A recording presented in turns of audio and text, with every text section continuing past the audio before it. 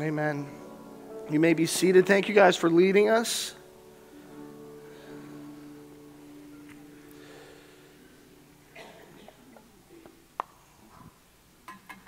Amen. God's good. I read in the bulletin, I said, uh, I seen something about a roast and I got all excited, and then I realized I was one getting roasted. that kind of changed it up a little bit, right? It's amazing how just a word or two can make a difference, right?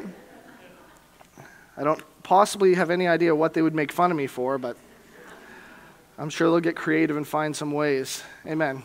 God's so good. We had a great day yesterday. We got to go down to the valley and go apple picking. And uh, let me tell you, that's a feat when you have four kids. Because you go in with about 80 pounds of kids, 90 pounds of kids, and you come out with about 100 pounds of kids and apples and everything else.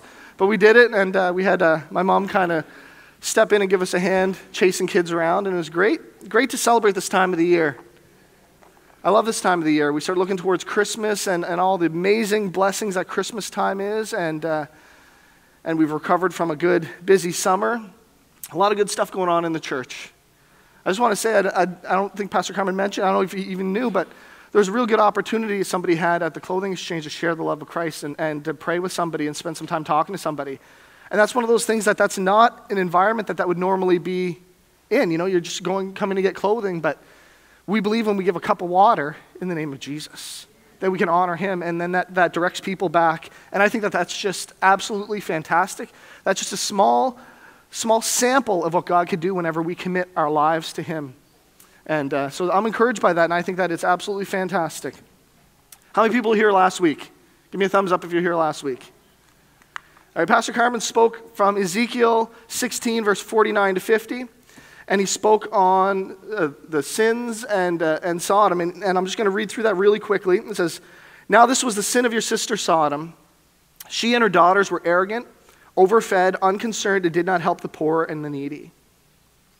They were haughty and did detestable things before me. Therefore, I did away with them as you have seen. They were proud, overfed, wealthy, underworked, lazy, and they didn't help the poor and the needy. And this is the world we live in, and we're very much fighting battle, these battles in our own lives if we're honest with ourselves. That same spirit kind of creeps up and wants us to, to make all of this, everything we live, about us. We want comfort, we want security, we want all of that, and uh, Pastor Carmen challenged us last week. It was kind of funny because when he called the worship team up, I don't know, sometimes a word is, is, a, is a hard word, but it needs to be said.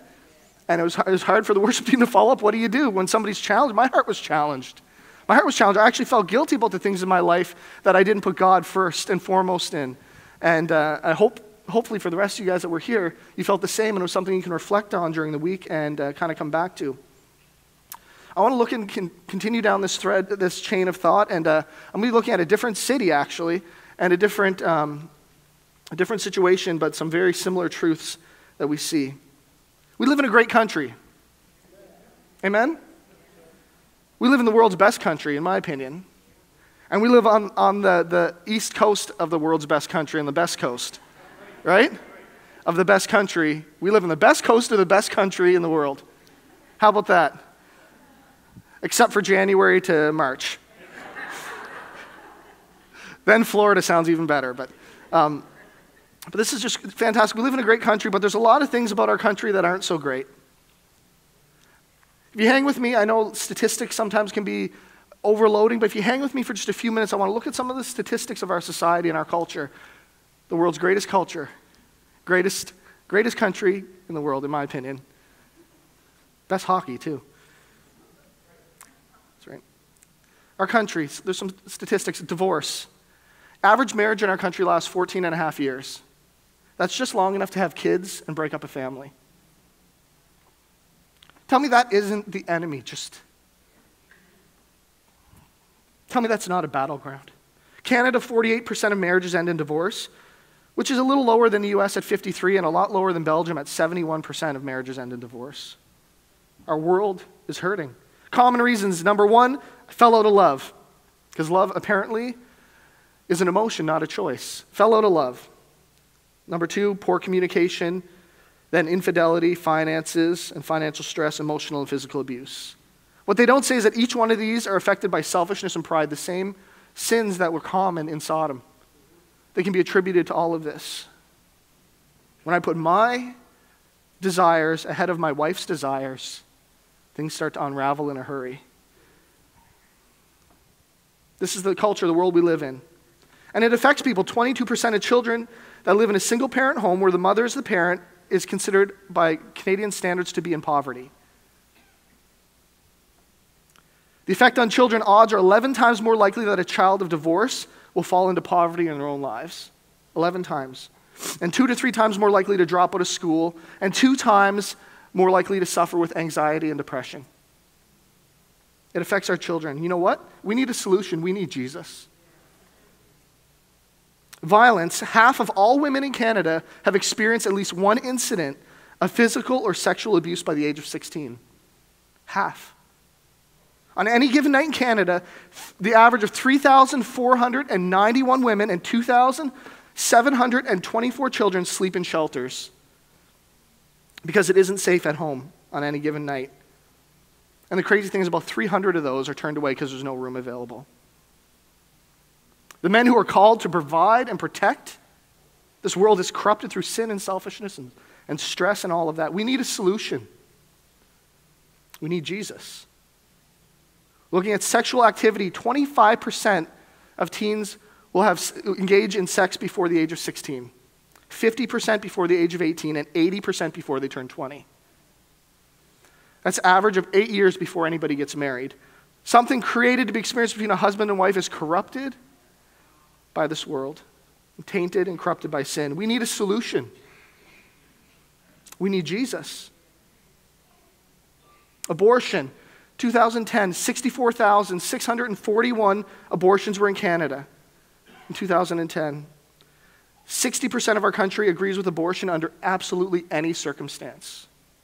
And the media goes crazy when some hunter shoots a lion that's terrorizing a village.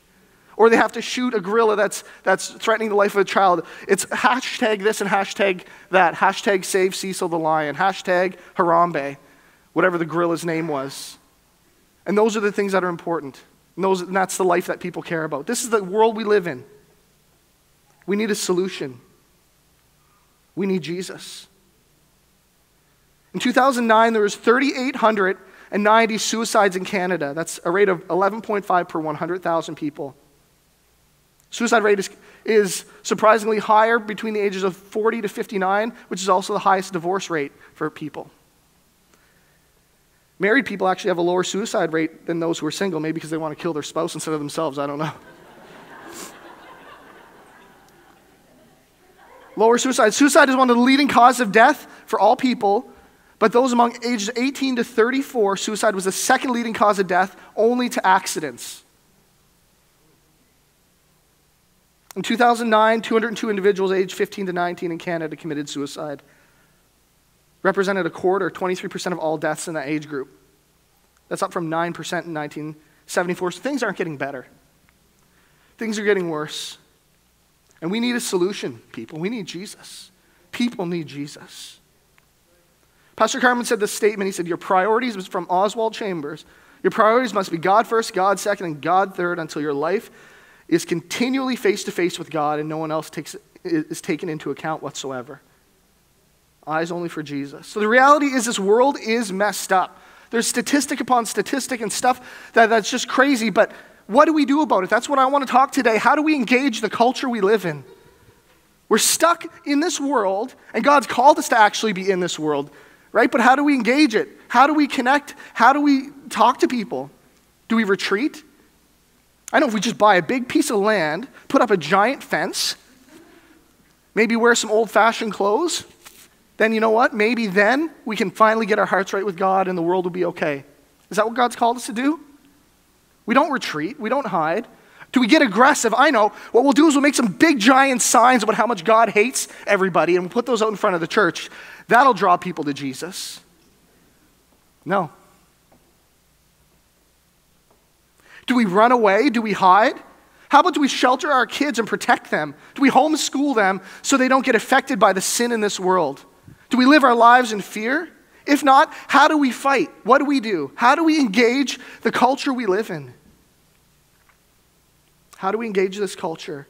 I want to look at a story from the Word of God this morning, and um, It's a story that just constantly speaks to me on different angles, and I want to share it with you guys this morning.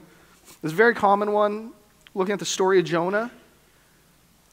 He's called to face a culture, to come face to face with a culture that was bent against him and his beliefs and everything that he stood for. If you're following along, it's in Jonah 1. I'm going to read through this section of scripture pretty quickly. The word of the Lord came to Jonah, son of Amittai, said, Go to the great city of Nineveh and preach against it, because the wickedness has come up before me. But Jonah ran away from the Lord. He headed to Tarshish. He went down to Joppa, where he found a ship bound for that port. After paying the fare, he went aboard, sailed, and fled from the Lord. Then the Lord sent a great wind on the sea, and such a violent storm arose that the ship threatened to break up. All the sailors were afraid, and each cried out to his own God. And they threw the cargo in the sea to lighten the ship. But Jonah had gone below deck, where he lay down and fell into a deep sleep. The captain went to him and said, How can you sleep? Get up and call on your God. Maybe he will take notice of us so that we will not perish. Then the sailors said to each other, Come, let us cast lots and find out who is responsible for this calamity. They cast lots, and the lots fell on Jonah. So they asked him, Tell us, who is responsible for making this trouble for us? What kind of work do you do? Where do you come from? What is your country? From what people are you? He answered, I'm a Hebrew, and I worship the Lord, the God of heaven, who made the sea and the dry land. This terrified them, and they asked, What have you done? They knew he was running away from the Lord because he already told them so. The sea was getting rougher and rougher, so they asked him, What should we do to make the sea calm down for us? He said, Pick me up and throw me into the sea. It will become calm. And I know that it is my fault that this great storm has come upon you. Instead, the men did their best to row back to land, but they could not. The sea grew even wilder than before. They cried out to the Lord, Please, Lord, don't let us die for taking this man's life. Do not hold us accountable for killing an innocent man. For you, Lord, have, have done for you, Lord, have done as you pleased. Then they took Jonah and threw him in, overboard, and the raging sea grew calm. At this, the men greatly feared the Lord, and they offered a sacrifice to the Lord and made vows to him. Jonah's prayer was Now the Lord provided a huge fish to swallow Jonah. He was in the fish for three days and three nights, and he prayed. In my distress, I called to the Lord, and he answered me. From the deep in the realm of the dead, I call for help, and you listen to my cry. You hurled me into the depths, into the very heart of the sea, and the currents swirled about me, and your waves and breakers swept over me. I said, I've been banished from your sight, yet I look again towards your holy temple. The engulfing waters threatened me, the deep surrounded me, seaweed wrapped around my head. To the roots of the mountains I sank, and the earth beneath uh, barred me in forever. But you, my Lord, my God, brought me up from the pit. My life was ebbing away. I remembered you, Lord. And my prayer rose to you, to your holy temple. Those who cling to worthless idols turn away from God's love for them. But I will shout, uh, I with shouts of grateful praise will sacrifice to you what I have vowed I will make good. I will say, Salvation has come from the Lord. And the Lord commanded the fish and had vomited Jonah onto dry land. Then the word came to Jonah second time go to the great city of Nineveh and proclaim it, the message I give you. Jonah obeyed the word of the Lord and went to Nineveh now, Nineveh was a very large city. It took three days to go through it. Jonah began going a day's journey into the city and proclaiming, 40 days and Nineveh will be overthrown. The Ninevites believed God. A fast was proclaimed, and all of them, from the greatest to the least, put on sackcloth. Let everyone call urgently on God. Let him give up their evil ways and their violence. Who knows, God may yet relent with his compassion and turn his fierce anger so we will not perish. When God had seen how they turned from their evil ways, he relented, did not bring upon them the destruction that he had threatened. A couple key concepts from the scripture I want to look at, and I want to give you guys three points. So if you're taking notes, um, typical sermon, you have three points to take. Key concept. First off, this message that we have and this message that Jonah had was not his message. It's not my message. It's God's message. Twice it said the word of the Lord came to Jonah, and the word of the Lord came to Jonah a second time to go to the great city of Nineveh. That tells me that Jonah was a messenger. You know what that tells me about us? We too are messengers. God's put a word on us to carry. It's not our job.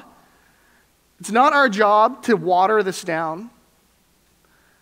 It's not our job to manipulate it just because we think it won't be received, just because we think it's too direct, too judgmental, too harsh.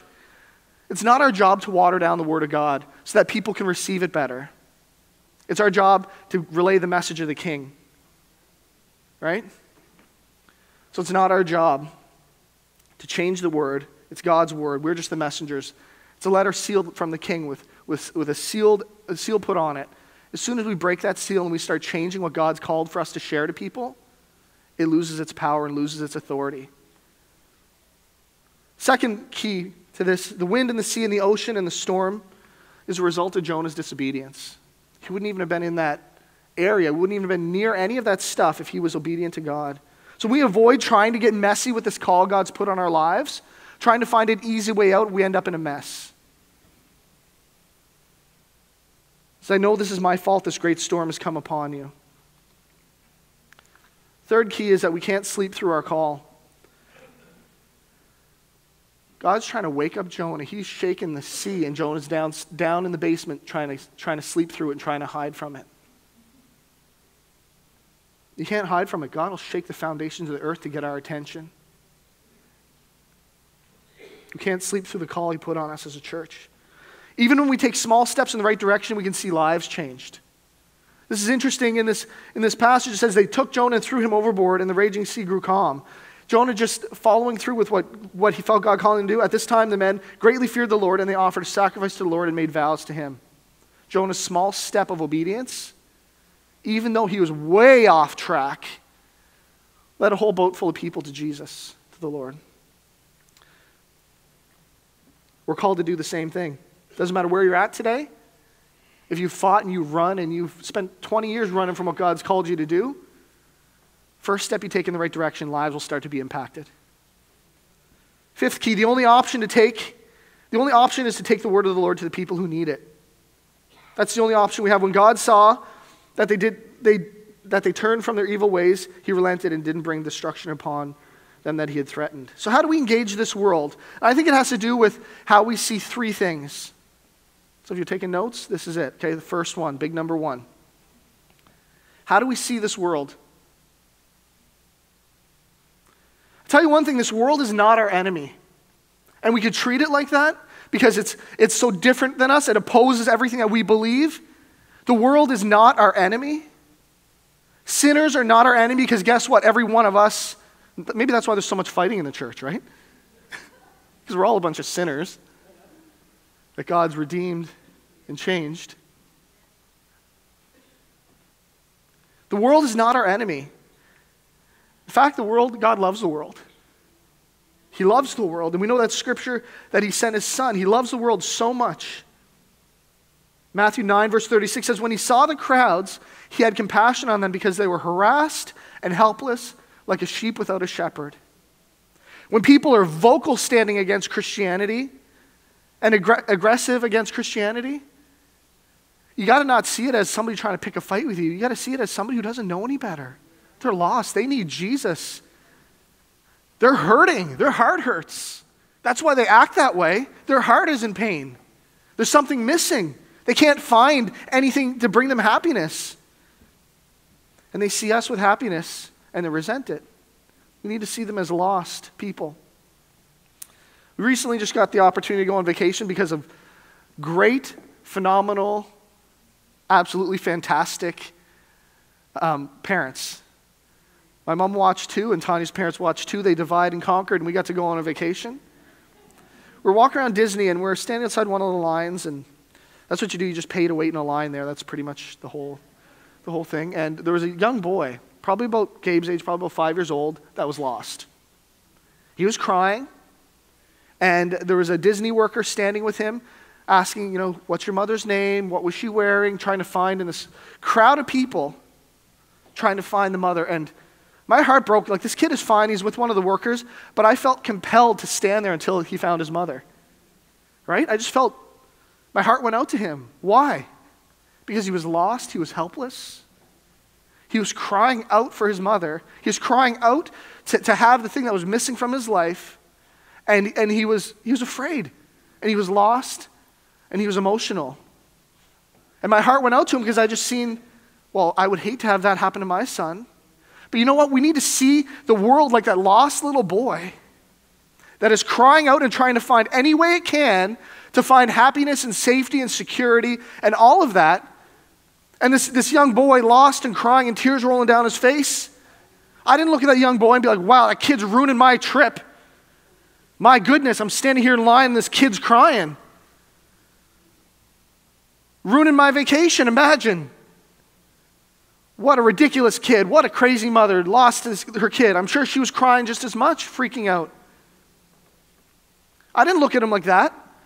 I looked at him and said, This kid, this poor child is lost. And I felt compelled to do something about it. I felt compelled. I wanted to grab him and pick him up and be like, Whose kid is this? Whose kid is this? And then I would have probably got arrested, but I felt compelled to do something. To do something. And this is the way the Heavenly Father sees this world as a lost bunch of kids that he feels compelled to do something about it. He feels compelled to have them come back into the fold. He feels compelled because they're separated from him. And you know what he says? Well, I know how to do this. I'm going to send my church to reach them.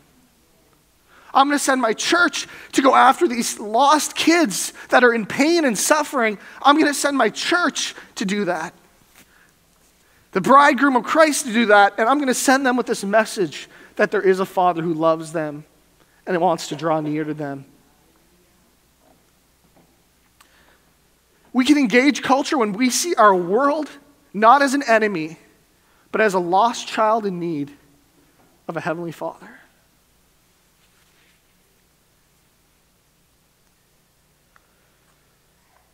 It's our calling. It's our job to direct the lost world to this heavenly Father. The message John 3:16 says for God so loved the world that he gave his only begotten son that whoever believes in him shall have eternal life. God loves the world. That's a theology. That's who God is. It says something about him. He's a loving God. There's actually some Christology in there too. It talks about Jesus the Son, that he sent his son to die for our sins. But there's a part of this that we kind of overlook. We want to tell people that God loves them and that his son died. The part that says, whoever believes in him, that concept, the message that we're carrying to people, we think, well, it's just a message of love. It's a message of acceptance. It's a message of, of this parent. Well, whoever believes in him, that's a loaded little three word uh, part of that scripture. Because belief in Jesus means you believe who he says he is. So the message you're taking is that God loves you. He sent his son to die for you. You need to believe in him. You need to believe who he says he is. You need to believe in how he says to be saved. That we need to repent from sin, that we need to turn from our wicked ways, that we need to come to God. We can't have salvation without repentance. We can't have salvation without the sin in our lives being cleaned out. He says that He's the only way. He's the only way. So we go out with this message and you know what? Unless we include God loves us, He sent His Son to die for us, and He wants to fix things in your life, He wants to change things in your life, He wants to clear the sin out of your life. Unless we're willing to take that part of the equation, there's a big piece of that scripture that's missing. Unless we're saying, you know what, you need to believe in Jesus. You need to have your life transformed by Jesus. You need to surrender to Jesus. If we miss that, we're opening that letter from the king and we're removing a big part of that. You guys follow me today? We're removing a big part of that message that God is love and He sent His Son. And the part that we always skip over is you need to get your life straightened out. You need to surrender to Him. You need to allow your heart to change. You need to allow Him to change who you are and who you think you are. There's a big part of that's missing. The message it just isn't God is love, but that a price was paid for us. And we need to take that, accept it, believe it, and repent. Because He is the only way that whoever believes in him shall have eternal life. That eternal life is given for those who believe in God and who he says he is. How we see our world changes everything. We want to engage in culture, we need to see the world as somebody lost and need a shepherd. We need to see it not as our enemy. We need to take the gospel unfiltered, not watered down, not compromised, not altered to meet some needs or change for the audience. We can find creative ways to tell people about the love of Jesus. Don't get me wrong.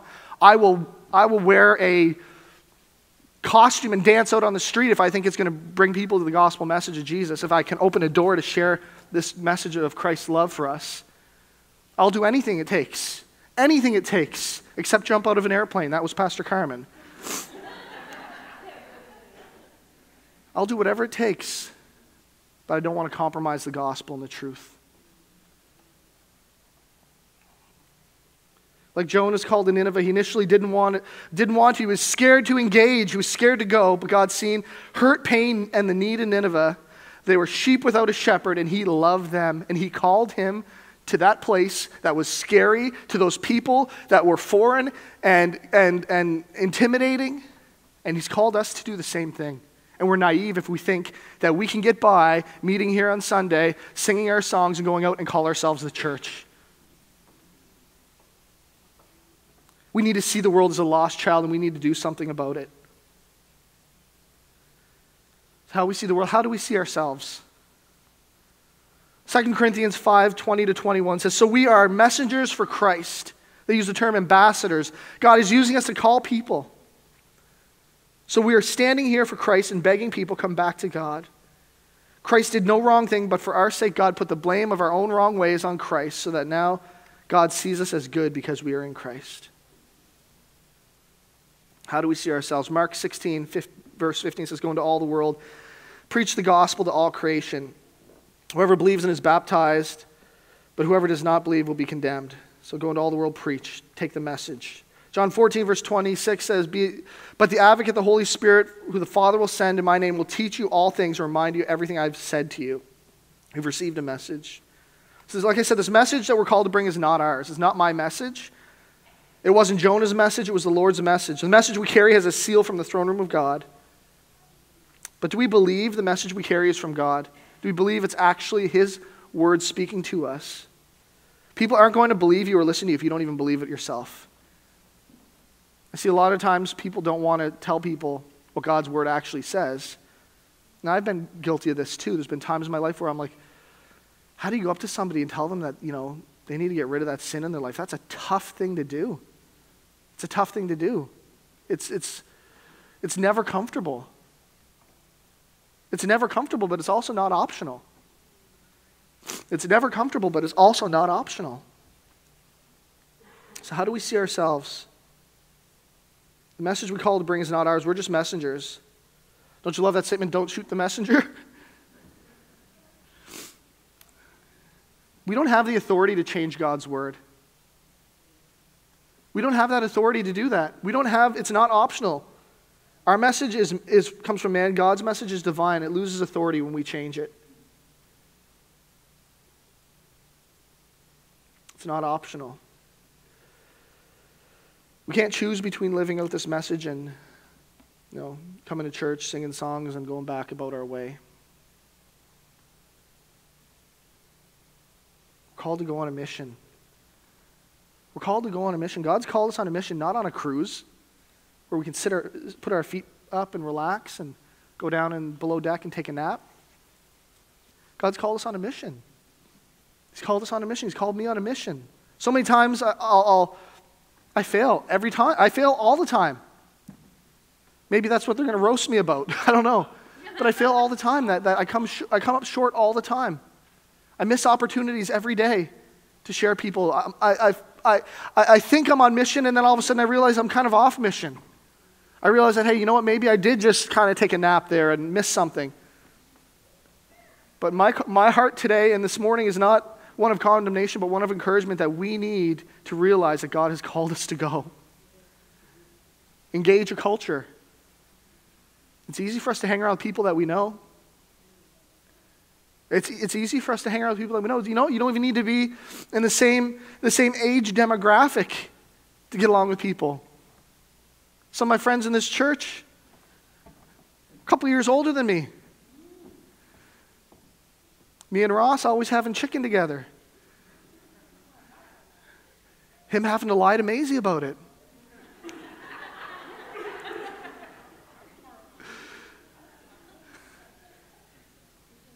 You know, uh, that's easy. Me and Howard always working on stuff together. It's easy to get along with people that you have these things in common with. You don't even have to be the same age. They're like at least 10 years older than me. But it is hard. I'm not lying. It is hard to, for me to go up to another 35 year old guy and start telling him about Jesus. But it's what I need to do. It's what I need to do. I need to start talking to my neighbors more. I need to start talking to my neighbors more about it.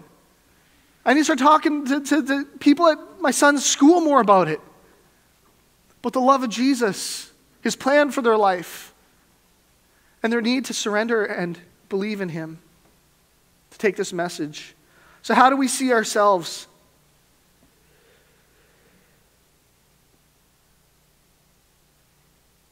I'll tell you what, that 99% of the time, if you feel unhappy and unfulfilled as a Christian, it's because you dropped the ball and you're not living out the call He's called on your life.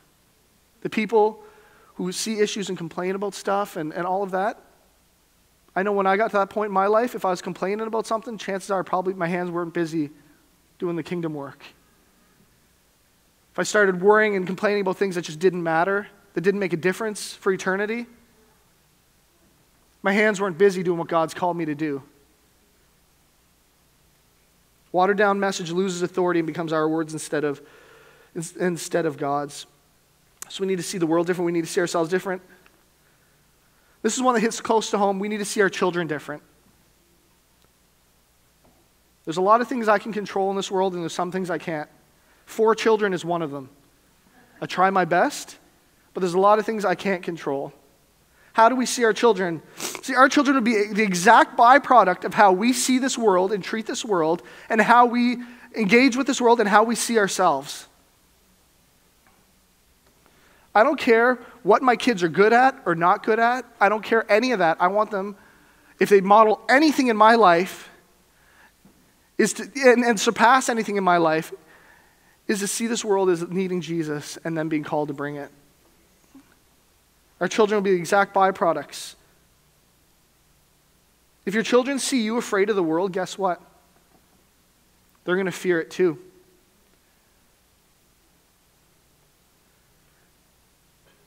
They'll see it as something to be feared. If we don't engage in the world with compassion and authority and represent our king, our children will not represent our king. When we don't walk in the authority of Christ, they won't walk in the authority of Christ. I tell you what, if you try to shelter your kid and protect them from this world, you're just prolonging the inevitable. They need to see you stand with the authority of Christ. Let them see you preparing in your home. Let them see you preparing in your home, praying and reading. And I'm not talking about saying the three line, now I lay me down to sleep prayer at night.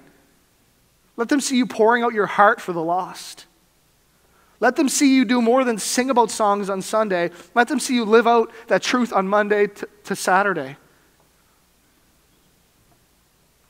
Let them see it. Let them see you weeping for people, for your lost family members. Let them see you carrying this message. Let them see you seeing the world as lost sheep that need Jesus, and us as messengers from the King of Kings and the Lord of Lords.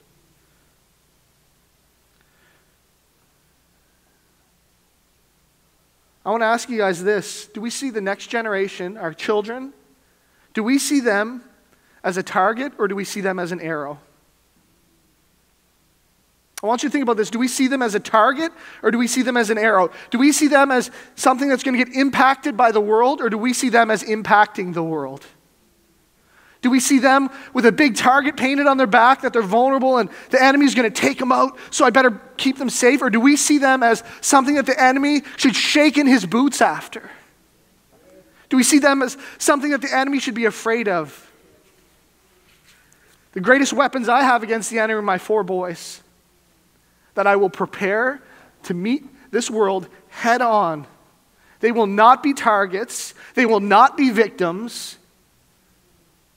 They will walk in the authority of Christ and they will be arrows for the kingdom of God. They will make an impact in this world. And that's all I care about. Psalms 127, verses 3 to 5 says, Children are a gift from the Lord. They are a reward from Him. Children born to a young man or semi young man are like the arrows in the hands of a warrior. How joyful is a man whose quiver is full of them. He will not be put to shame when he confronts his accusers at the city gates. We don't need to be afraid to lose them. The enemy needs to be afraid to engage them.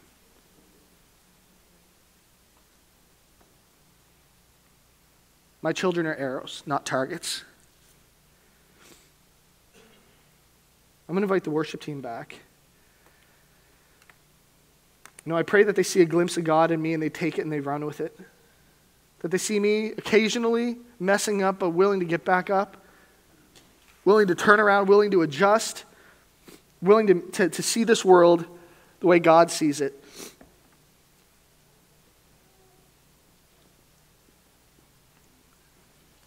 All we really have to make a lasting impact on this world is our lives, which are short lived, before we know what it's gone and what we're passing on to our kids, and the investments we make in others. How do we engage a culture that's turned against us? It's a messed up world. There's so much pain, so much suffering, so much opposition. We love it. We love it with the love of Christ.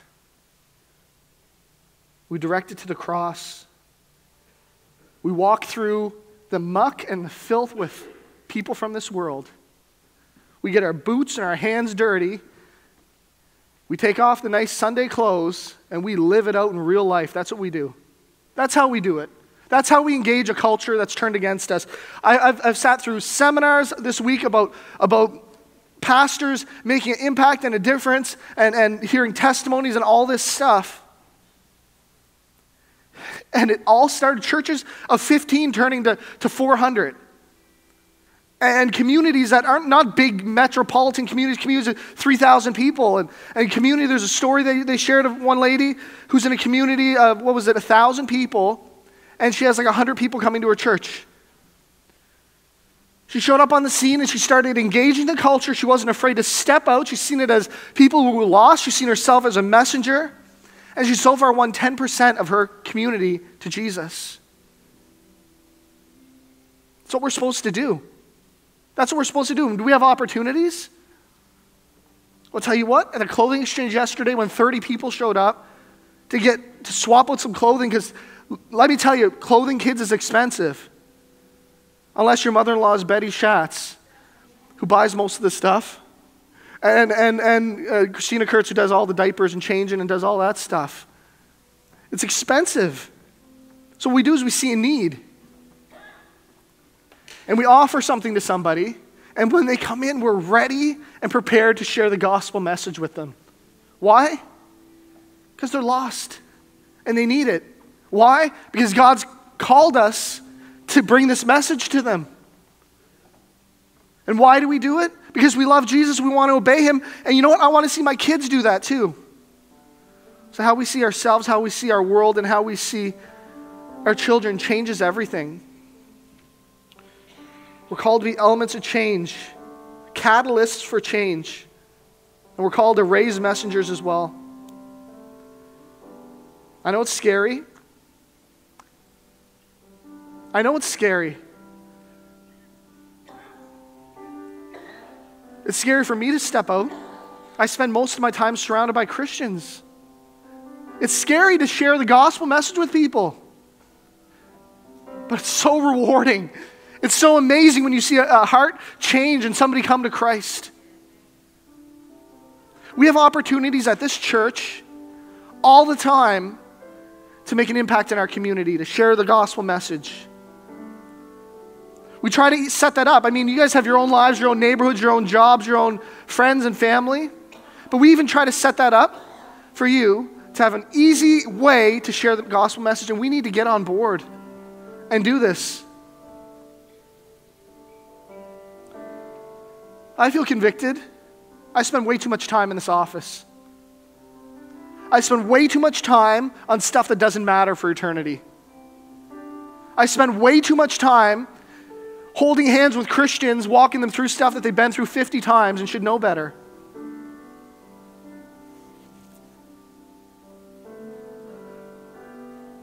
We need to get out. We need to do this. We need to engage our culture. Because you know what? God's judgment does come. We can't miss that, that God's judgment does fall upon people. God's judgment does fall on culture that is turned against it. You know, we live in a great country. God's judgment's going to fall on this someday. We're all going to stand before God someday and have account. And we need to do what we can. We need to do what we can. We need to see ourselves as the messengers. our children as the future. The world is lost and needing a Savior, and God calling us to, and everything else doesn't really matter a whole lot. God first, God second, and God third. I believe that when we put God first, God second, and God third, that's what we have no other option but to do, to follow what He says. Let's stand together this morning.